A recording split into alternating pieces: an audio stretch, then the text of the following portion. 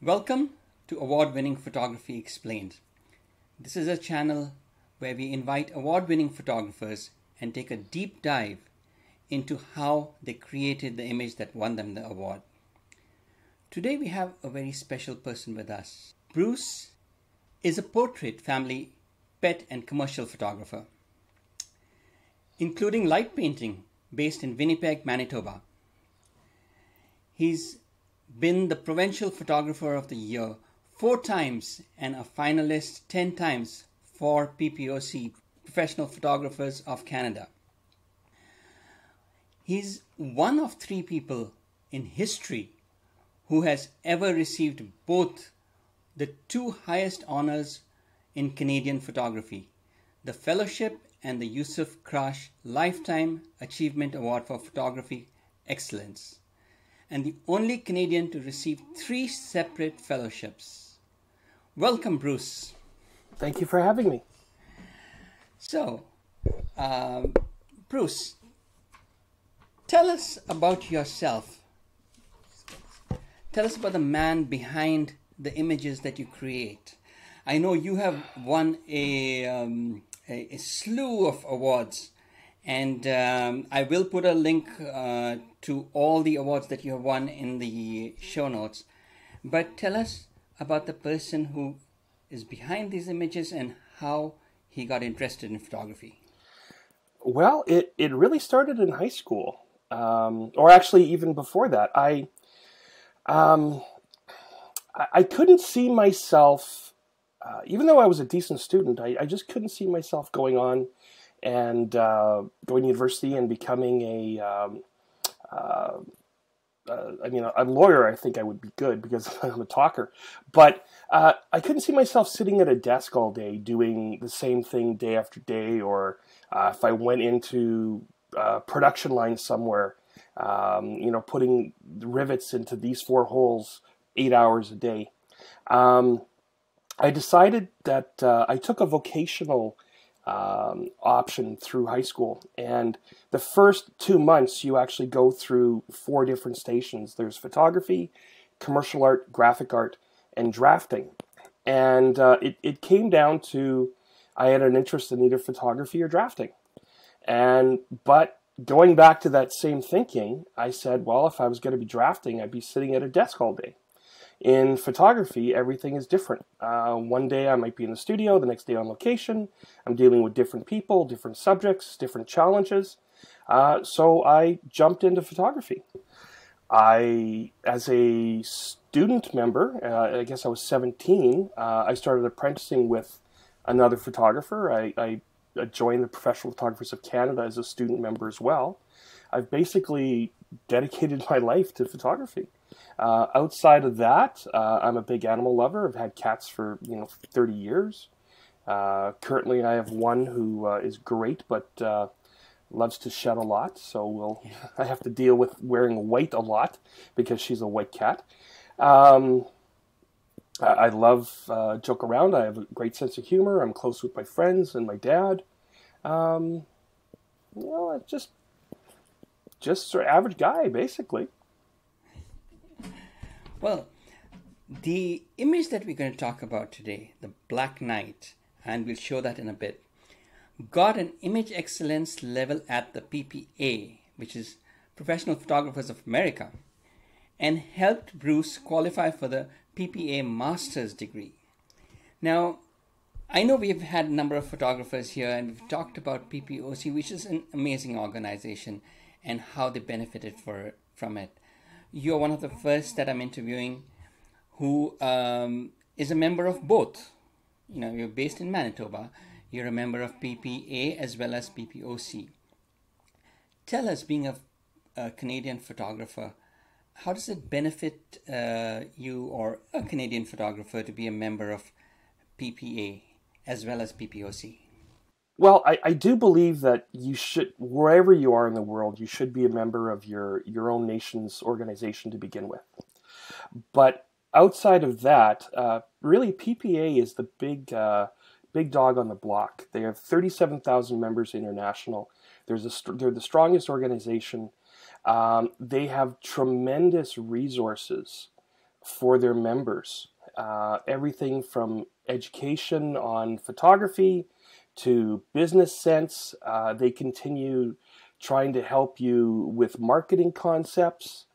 Um, you name it, you, they have it. Um, I, I, don't even take full advantage of what's available to me, and that's something I should. Uh, they have an amazing magazine. Um, it's it's just they are um, again they're also a nonprofit organization. I really do believe in um, sticking with nonprofit organizations because they're in it for the right reasons, rather than making um, an owner uh, a profit. Um, but of course, you have to do business right, uh, especially nowadays. Uh, and and PPA has really got their business sense in their house in order, and they they're continuing to be able to give back and give to their members as far as education. So, what it gives me specifically, uh, it gives me a different slant on on my education. Uh, I get Canadian and and um, uh, other other speakers, of course, that are that are not from Canada. I get that education, but I also get uh, uh, a style and a sense of what's popular in the states, and uh, that helps me blend uh, my two styles together. Um, education, there there's so many excellent photographers in the states just because of the numbers of population. Uh, and again, I said they're in, they're the most international organization. So it, I really get the best of both worlds. Uh, I would strongly advise any member, any any photographer, wherever you are in the world, uh, join your local uh, country's organization. I think that's important to have local access. But PPA is uh, is an amazing source that can help anybody. Uh, business, photographic, um, um, education, even uh, just the, the, littlest things. And just like any association, when you when you know that you're a member, you can call somebody up and say, "Hey, um, I'm having a problem with this, and you're you you do this. Would you be able to answer a question or two for me?" Um, just like most people, they're going to be most of the time they're going to be willing. Um, there's always the odd person when it, wherever you go that may say no, but um, perfect example is I've just started um, getting a, a, closer friendship with a uh, with an amazing photographer out of, out of Oregon. Uh, that's that through another association I belong to, the American Society of Photographers. Um, you have to be a PPA degree recipient to be a member of that association, and um, you know i'm i'm getting amazing business ideas from from one member uh, there's another member that i'm i'm helping out on their lighting and their uh, uh, their photography in general posing lighting basic concepts so it's it's um, the photographic community is is really bent on helping each other uh, in in organizations that's the one thing i found that people outside of organizations they tend to stick to themselves and give themselves as an island and they don't realize they don't want to share any ideas and they don't want to ask for for fear of either looking like they don't know or um, giving a competitor an edge of some sort. But really, inside the organizations, um, we're there to help each other. And and I believe um, you mentor you yourself mentor a number of people here in our local PPOC and as well as collaborate with a lot of members across the country, right? Yeah, over the years, I've uh, certainly uh, helped out certain uh, certain members locally or across the country. Uh, I routinely, I'm a national judge, so I routinely get people, you know, sending me inf- images to critique them and and uh, give some suggestions. I've done that um, with with people internationally as well through the internet. So there's there's a lot of uh, opportunities out there. Wonderful. So, should we uh, dive straight into the image? Uh, you Absolutely. want to bring up your uh, screen? So sure. the image. You know what? I, I'm I'm going to show you a video first. Um, okay. This is uh, we're we're talking about light painting today, and light painting. There's two two uh, theories of light painting. There's uh, a really in-depth version, and then there's a light version, as I call it. Um, That's that's the easy way. Um, I'm a person who believes in the more in-depth aspect. Uh, when I'm when I'm photographing a subject, um, the final piece may end up being 40, 50, 60 plus images, um, where the easy way of doing it is it might only be, say, one to five images that they're used. Um, and this video will show, it's only 42 seconds long, but it'll show you uh, a little idea of the making of what we are talking about. All right, so this is a 42 second video. I'll quickly show you, and this is sort of the making um, of this entire image. And then we'll go into uh, the, the hard part in, in a minute.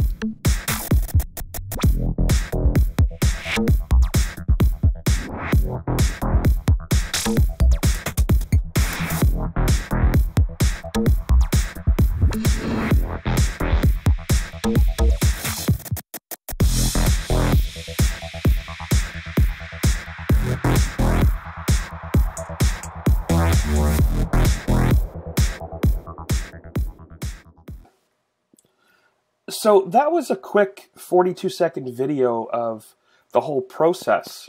However, that whole session probably took three to four hours. It's uh, it's quite a labor intensive aspect. What inspired you to um, to do this, uh, the Black Knight, and what was um, how did you conceive of the concept? Well, I uh, fell in love with light painting uh, probably about six or seven years ago. Uh, it was definitely uh, something on my radar that I wanted to learn and uh, try to master. Um, the the plan actually was to uh, to take some courses on in the fall of 2020, but of course we ran into a pandemic. However, I was still able to take uh, some classes uh, virtually, and uh, then I had spent uh, all of uh, 2021, um, the winter part of 2021, learning. Uh, then I started um, physically trying to build up my portfolio and actually creating pieces. so I this was actually the very first motorcycle that I, I had ever photographed uh, or first one I ever light painted. Uh, this was done as a portfolio piece. Um, however, I, I, pulled a, I put a sort of a uh, cool bikes wanted ad on a local Facebook group, uh, explaining what I'm doing. I think I put up a video of one of the cars that I had done, and I said I'm looking for some interesting motorcycles to to do something like this with and uh, certainly got a few few people that were definitely interested. Uh, this black uh, Ducati caught my eye. Um, the location that I chose actually is somewhere that I have used in the past for portraits.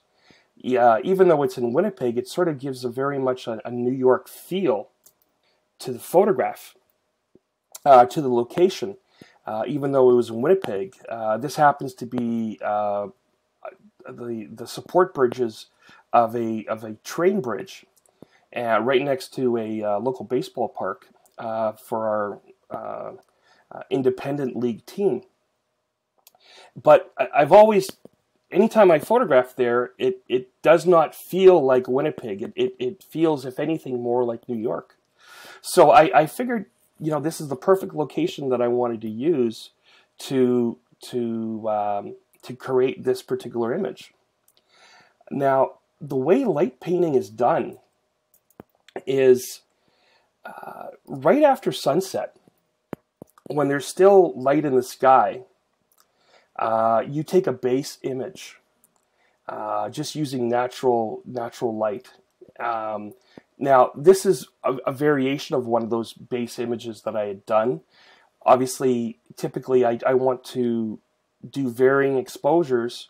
So if I needed to use this base image, let's say I forgot um, because a motorcycle or a vehicle is very intricate, let's say I, I did not get uh, a, a, good exposure on a, on a specific area of the vehicle, or I had forgotten for some instance, um, I would still be able to come back and use that piece of the vehicle from a base image. But also the the aspect of doing multiple exposures for the background in the sky. Um, if you're facing west and you have color in the sky, you could bring back that actual sky uh, into the final piece and have something uh, very creative. Now, in this case, I didn't do it. I was I was actually facing south. Um, west is uh, beyond those buildings to the right, and I, I really wouldn't have gotten any color in the sky from this direction. So it's definitely when you're when you obviously when you're photographing something black, you want to vary your exposure. Um, in this case of the base image, to make sure that in some of those deeper areas, I had uh, detail. So that's this is sort of the the basic setup of and the location of, of where I photographed this and how the bike was set up. It's light painting is very much a uh, once you set the camera, uh, you don't touch it. Uh, I always use my uh, my base ISO in this case with a, a Nikon D850. It's 64 ISO or ISO, I guess the proper pronunciation is. Um, I particularly chose f22. Um, uh, as long as the, the full vehicle is always in focus, that's that's fine. Typically, f16, f22 is what you want to use because you want a small aperture uh, and a low ISO to uh, to give you time to light paint and not to get detail in areas that you're not putting light on. Because this is really much a situation where of if I want something to be lit, I will light it um, the way I want it to, and if I don't want it lit, uh, either I won't light it or I won't bring it back into the final image because this is very much a, uh, a puzzle the way this whole thing comes together. So uh, let me go into these are some of the captures that I, I used. Um, I don't believe I I don't believe these are all of them, but these are a lot of the main ones that I used. Um, I use a variety of light sources, LED light sources. Um, I do have one flashlight that is um, uh, incandescent bulb, but one of the, the really tricky things you need to do is you need to uh, color balance all of your your uh, your light sources and end up creating, uh, in my case, Lightroom or, or Bridge presets that you can you can uh, balance that that flash source back to, to neutral. The last thing you want to do is use two or three or four different uh, light sources, all having a, different color temperature, and then you have these the spotty look of colors uh, that are that are all over the place when you're lighting something that's one color. So that's that's a bit of a, uh, a challenge, and it's uh, you only have to do it once but it is a little tedious when you're first starting up setting up your your uh, lighting equipment. Uh, but for this particular uh, vehicle, I believe I used two, maybe three light source. Uh, well, three, maybe four light sources, I should say. Uh, everything from a uh, a little flashlight with a 0.9 of an inch diameter for the head to a uh, a uh, Godox LC500 light wand. Uh, I also used a thousand LED light panel uh, that that was daylight balanced, and it's possible. Um, I'm trying to remember if I will find out in shortly. Uh, from the uh, the shapes of the light patterns, I might have used uh, a Savage Edge mini light, which is unfortunately no longer available. But the great thing about that particular one is it was small, handheld, uh, it was round, and they were reflected LEDs, meaning instead of pointing out towards uh, the direction of where the light is falling, the heads were pointed back into the light and were and were reflecting off of a uh, a back panel, so it actually gives you a softer light than uh, a, a, straight directional uh, LED light source. Unfortunately, that light is no longer available. The Big Brother is still available of it. Um, it's, it's four times as large and three times as heavy. But so in this case, um, I would start off by doing using my uh, my Godox light wand and doing overall passes from from the entire length of the bike. Once you set the camera, you never touch it again. Everything is done by remote control. Um, I use uh, I use a Pluto trigger, which triggers um, which opens and closes my camera, and I have it set on bulb. So uh, it's I, I control it off my cell phone, and once the image has been created, I use a CamRanger 2, which sends a uh, proprietary RAW file to, in my case, I use a uh, an iPad on a light stand. Some people use a, a, laptop, but I just find it's a little bit easier to do, uh, to have a light, have a, a, stand available and an iPad that I can move around and uh, take the stand with me close to the subject have it slightly outside the frame, um, and be able to go back and forth quickly to it. Um, it the last thing you want to do is you don't want to touch the camera again once it's started, because ideally these pixels will line up with one another perfectly on every photograph that you do. So a solid tripod, a solid head that doesn't um, that doesn't drift. You want to lock these things down. You want to keep them as tight and as solid as you possibly can.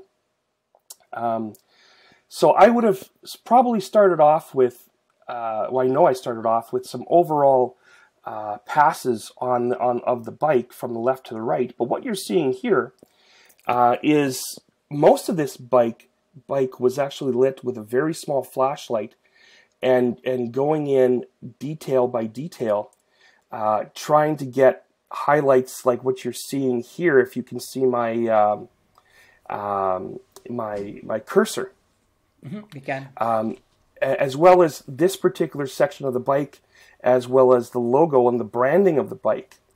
Uh, little bit by little, you just start photographing every section of the bike. And you, typically, you might want to do this two or three times per piece because you might be doing a slightly different angle. Um, you might get a reflection in uh, in one image where in the next image you don't have a reflection. So all of this right now, uh, this is all done with a very small flashlight. And most of the time when you're light painting, you're moving. Uh, so you actually don't uh, show up in the photograph unless you're stationary. Now, in this case, I was stationary uh, with my body, but I was moving in with a with a very small flashlight and lighting up these sections of the of the bike. So you don't really see my hand moving, but because I was stationary, you see a ghost image of myself. Quick question before you go further: that um, the the the amount of time that you um, are waving or you know the, the light you're moving around and how close how far that's all experimentation i would take it? Realistically yes because every light source is going to be giving you a different level of power. Um, and the inverse square law comes into effect here. So um, if you double the distance you are away from the, the flash is away from the or the light source is away from the subject you, you lose two stops of light. So this is very much a, you have to feel it. And once you start making a couple exposures, you quickly get into, it, it falls into place. Um, you know, I need to walk this fast, or I need to walk a little slower, uh, or I need to have the light a little bit closer or farther from the subject. When you're doing things um, uh, like highly reflective, um, and this is something that I've started experimenting with Sunday night. Um, I, I, was using a light, a very large, um, uh, the three foot round reflectors, the five in one reflectors, uh, gold, silver, black, white, and then if you take off off off the all the outside materials, you get a uh, translucent uh, scrim out of it. And when you're using a scrim with a light behind it, you can then um, make a larger light source, which will help um, diffuse the specularity when you're dealing with something extremely shiny. Um, in, in, that particular case, I was photographing a 1939 Ford Standard Coupe, uh, and there's a lot of uh, weird angles on those vehicles, and I was getting um, some very strong highlights in the in the in the fenders. So what I did is I, I switched over to this diffuser panel. Um, I had a, uh, a, a square, I think it was a 300 uh, light LED panel that I was shining through it, and that that made the the the specular highlight larger, and it was more it was softer and spread out. So you'll see a lot of people with some do-it-yourself modifications uh, when you when you get into light painting. Um, one of the things that I'm using here specifically uh, are some 90 degree elbows um, made of plastic that are cut on 45 degree angles. Uh, they're made by a gentleman called Harold Ross. Um, and when I was doing some research on light painting tools, that's that's the only person in the world that I found that made them. He's out of the states. Uh, I, I want to say New Jersey, New York area. But if you go on Etsy and you do a search on Rake the Light, that's uh, his company on on uh, Etsy, and it'll cost you well. In by the time you get it to Canada with shipping, um, conversion, and and any duties or, or taxes, uh, probably about $150 for a couple little pieces that'll fit on on any flashlight that has a head that's one inch diameter or smaller. But they're they're very helpful to block the light. What you don't what you need to remember is if the camera can see the light, that means it's going to leave a, a, a light streak. And for instance, here you'll see uh, on the on on this giant streak here, the camera was my light was pointed to the camera so it could see it. So this this obviously was was no good. However, I could use the badging, and I could also use this area here. So you have to be careful tremendously. And I, I have black gaffer's tape, black duct tape. Uh, a lot of my LED lights will have a, uh, a back panel that has a lighting. Maybe it has a battery indicator, uh, power indicator. I will black out those those lights uh, the the wand that I use by Godox, they, it comes with barn doors, but unfortunately they're not light tight.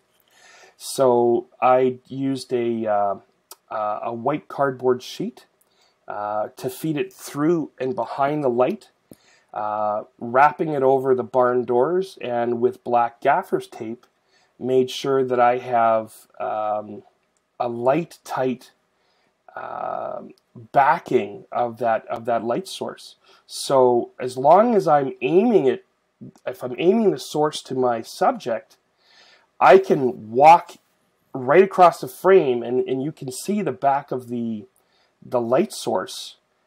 Uh, if you were physically watching me do it, or you can what you will see me move across.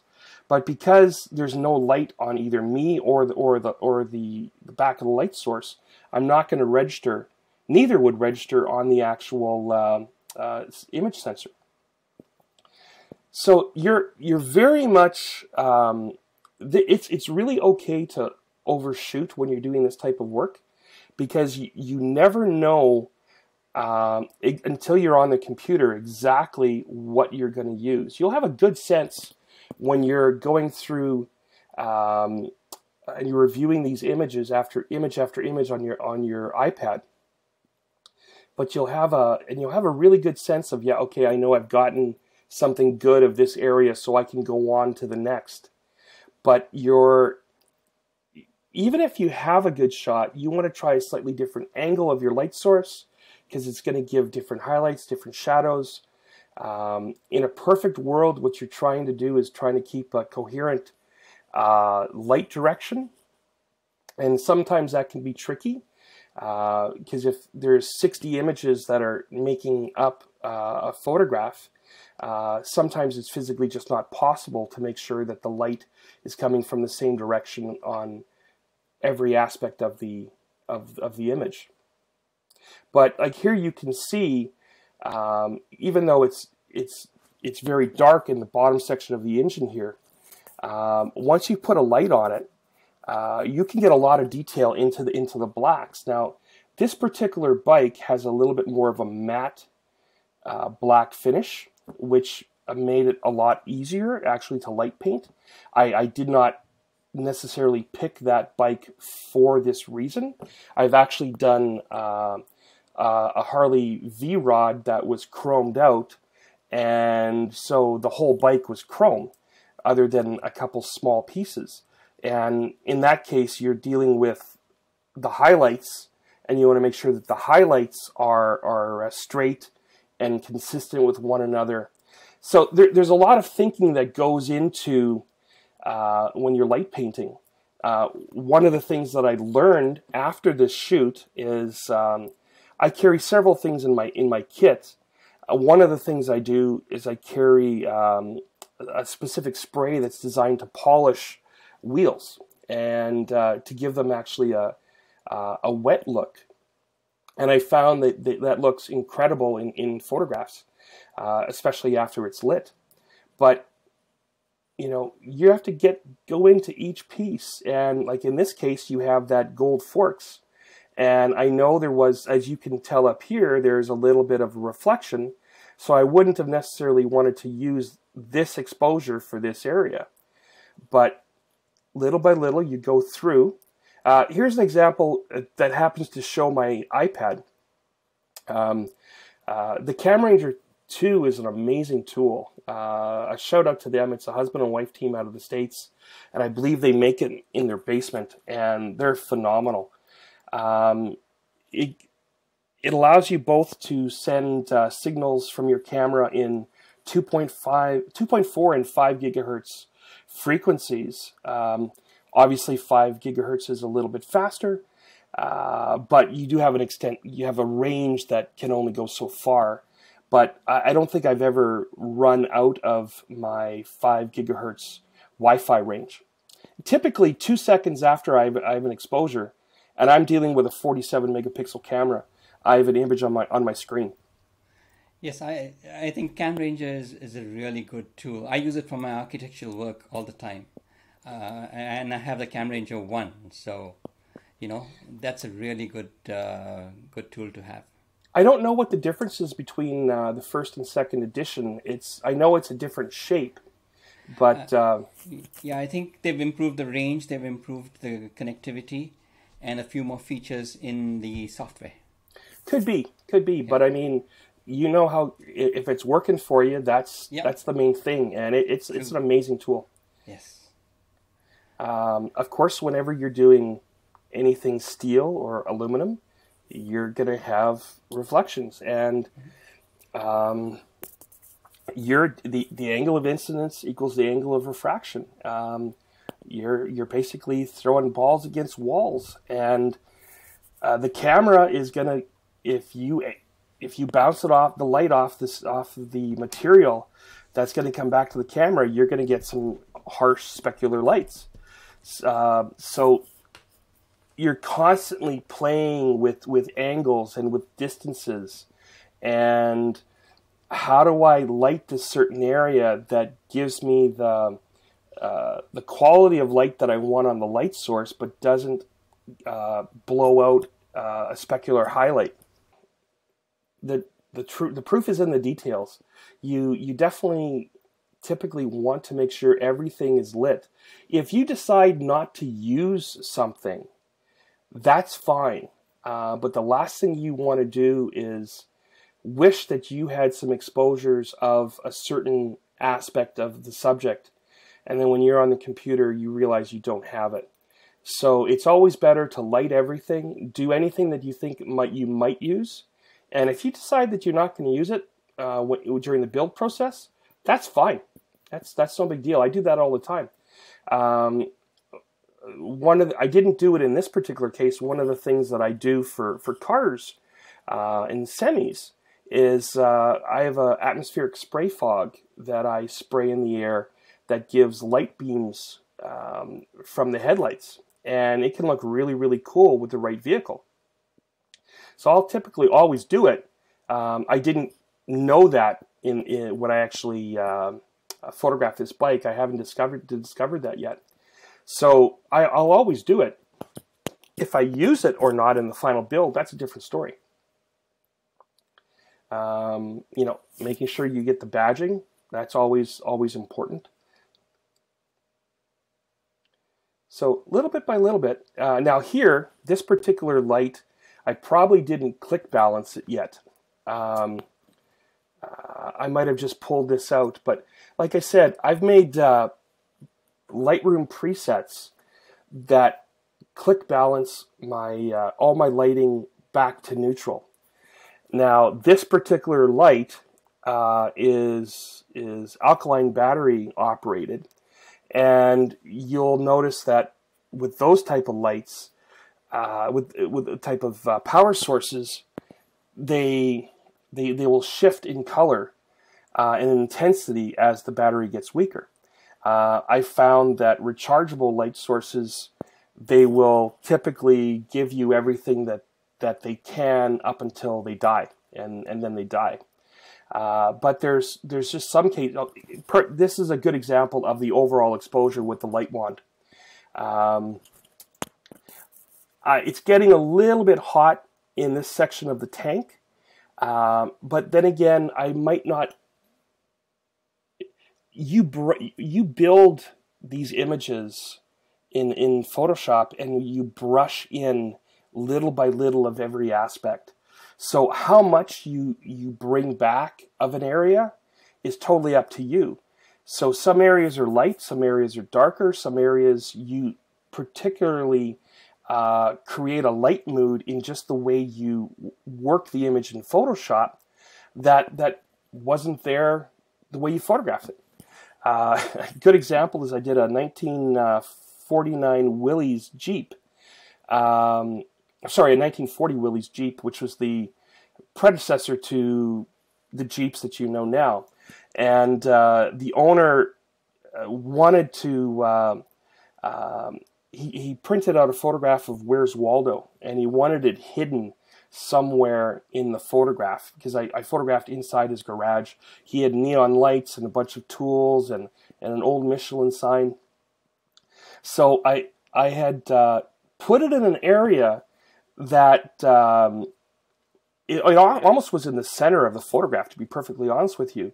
But the amount of light that I brought back on that that printout was just enough that if you were looking for it, you'd see it. But if you were just scanning the photograph, you wouldn't know. He just wanted to have a have a have some fun with his friends, and uh, and ask him to find Waldo. Um, now, in this is a situation where I was using my uh, thousand LED light panel to light the background girders, and little by little, I wanted to make sure that I had exposure on, on the ground as well as all the girders. Uh, and even that back wall, I believe I did an exposure a little bit on that back wall. Um, okay, so I have this streak across here, but I really wasn't concerned about this. This was really for the, uh, the girders under the bridge. Uh, so there are times that you will do things that you know that um, okay this this section of it is not going to look good because I'll have a light leak. But th for this image the upper part of it is all I'm looking for. Um, you know again I'm seeing my light sources here but I'm getting some light on on the, the background wall the girders some detail here some cement here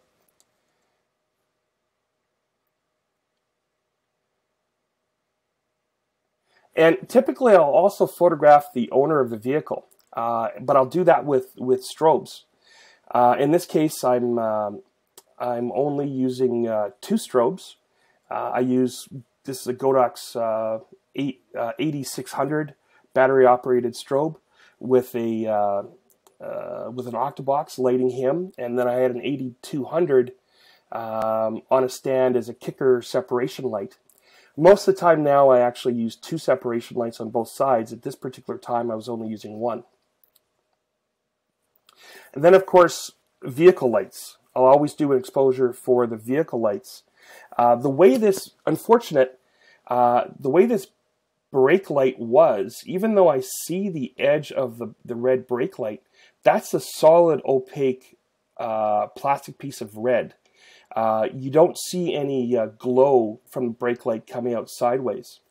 Uh, and in this case, just the way the angle of the bike was, uh, it would have taken an extremely long exposure for me to try to get any uh, red source on the on the ground, and I chose not to. So I wasn't really concerned the fact that I happened to have um, some. I put my lighting here. Now this was a mistake. I happened to just have my tr my trigger on my camera on, uh, so it did. This kicker light did fire a flash, but I was really doing the exposure only for the headlight um, and this little red light on the uh, left handlebar. So again, attention to detail. Uh, every little piece, if it's going to show up, I want to make sure that it's lit, uh, or if it's its own light source, I'm going to use it. Um, now, unfortunately, uh, just the street light in the background, every time I did a longer exposure, specifically at f22, it's such a small aperture, it's giving me this starburst. So I actually, in the final image, I, I artworked this, um, uh, this light out. But going to the build, like I said, you start off with, with the, uh, the base image, and then you start everything's with layer masks. Everything's coming in.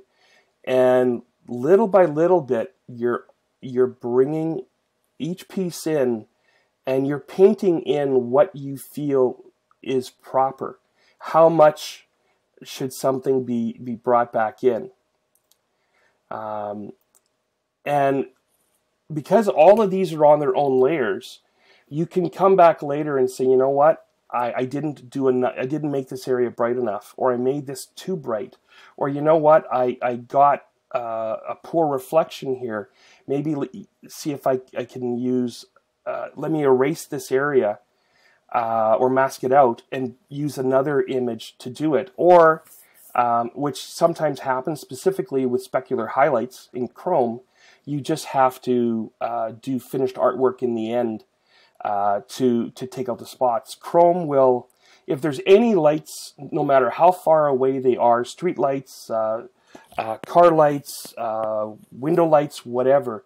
Um, if you're doing a chrome bumper, say anything like the heavy chrome bumpers from the, the 30s, 40s, 50s, um, uh, even up to the 70s, you will find um, a reflection, no matter how how faint the light source is and how far it is away. So as I go through this uh, the build process, each one of these added uh, aspects of the bike is on a separate layer. So here's a good example. Like uh, I, I, with this particular exposure, I used this. I brought back in this section of the bike, but I wanted, I wanted more. So another exposure, I brought back in a little bit more detail here. And this is going to seem very finicky, but this is what light painting is. Uh, if you want to do it well. Um, uh, always doing, uh, uh just if you're familiar with studio lights or um, lighting in general, you have to think the same way. Um, I use kicker lights. I will go go behind the the subject, and I will do uh, an exposure with my light source aimed back at the camera to give specular highlights uh, on on the the edge of the, of the uh, the subject because you just want to do you want to make it as three dimensional as realistic as possible. And again, sometimes you'll you'll bring in those specular highlights and that that uh, those highlights at 100%. Sometimes you'll bring them in at 30%. Uh, you start off with a smaller smaller brush and a, a, lower opacity and a lower flow rate, and then start building it up little bit by little bit.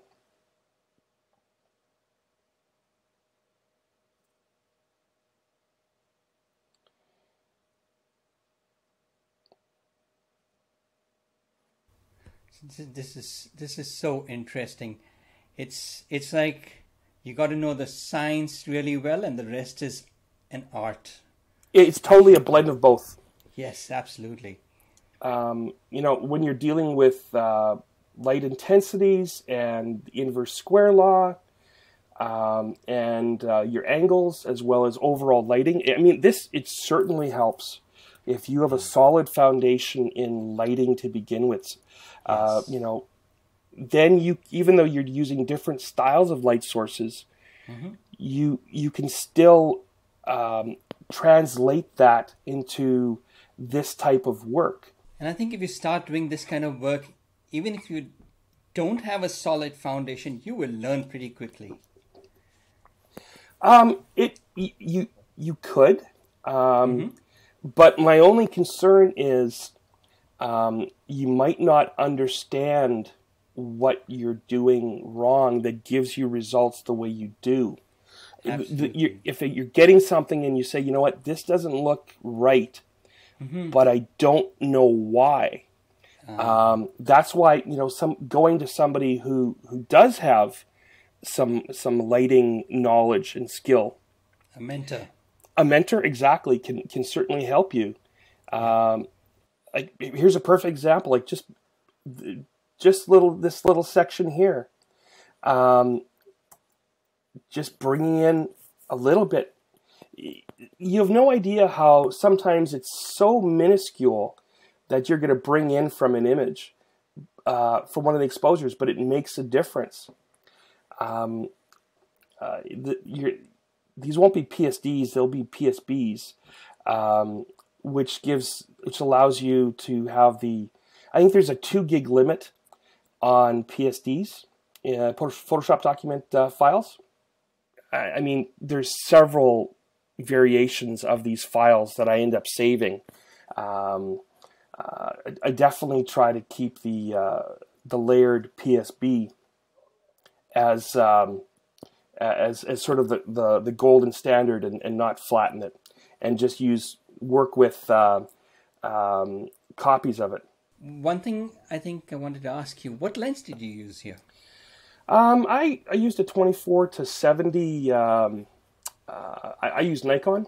So okay. it was a 24 to 70 that I used. And I'm just mm-hmm. trying to see if. Um, uh, I'm, I'm looking off the JPEG, so I don't have the, the metadata, which tells me exactly what uh, um, focal length like I used at this Closer case. to 24.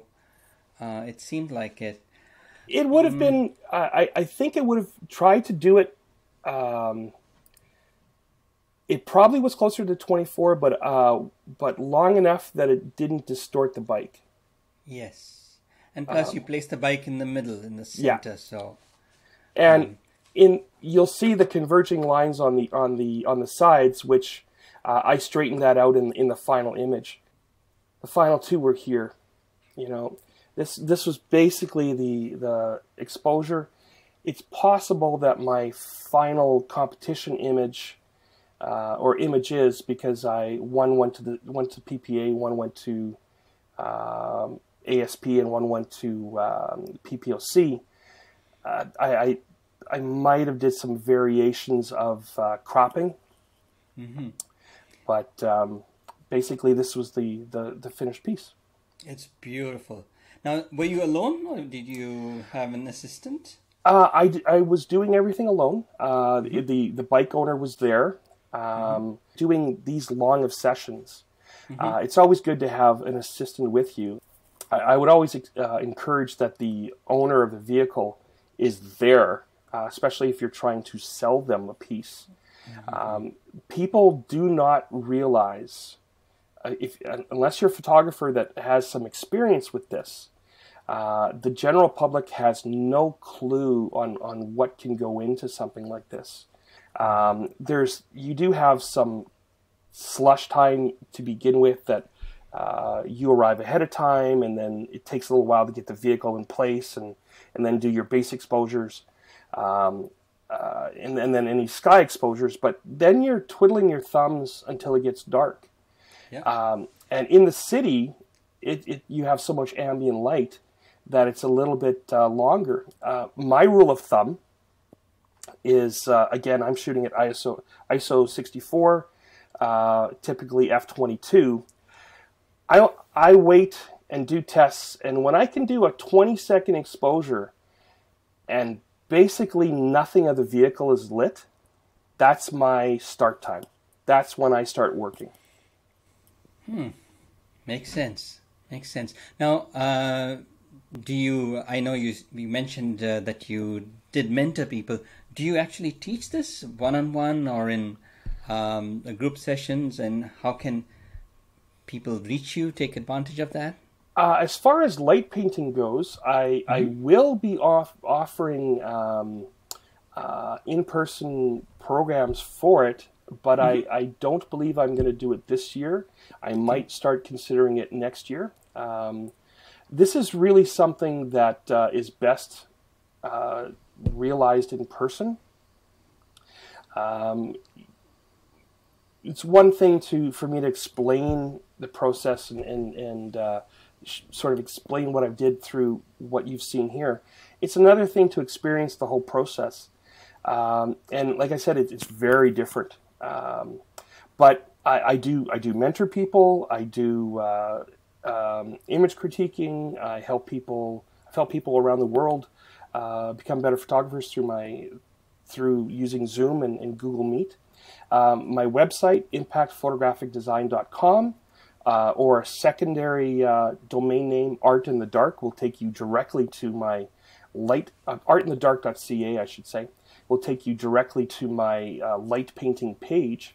But if you look at uh, the sections under photographers, it'll mention some of the things that I that I've helped other people out with.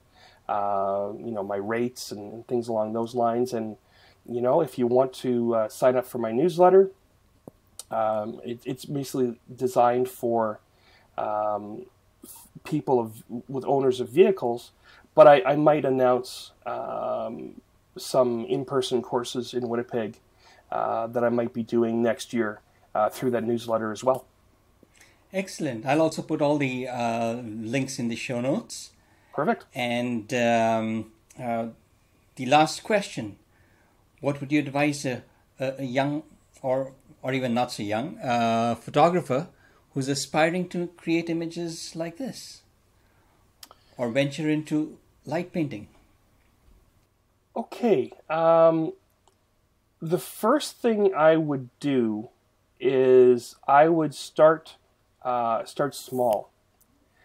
Um, you probably already have. I would start with one light source. Um, let's not complicate things with uh, having to balance light sources, but you probably have a flashlight uh, around your your home uh, or an LED panel. If you you might have something like that if you're a photographer. Uh, I would just start experimenting with um, with some with some subjects, even inside your home, a tabletop subject.